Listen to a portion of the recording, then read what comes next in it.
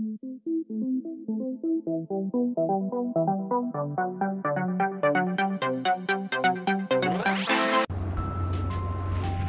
friends, welcome to Talk with Shivi channel.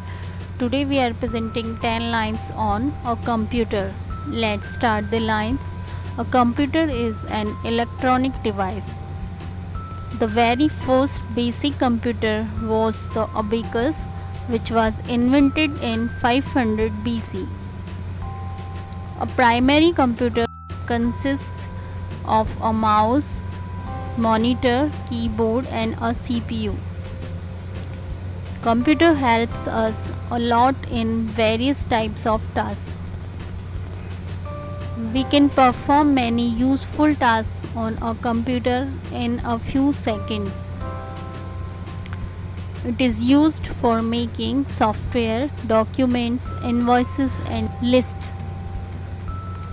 A computer is also used for playing games, listening to music, accessing the internet, watching movies and solving programs and calculations. Computers are used in various fields like offices, hospitals, stations, schools, etc. Computers have reduced our efforts and made our life easy. The internet runs on computers, connecting billions of computers the world over.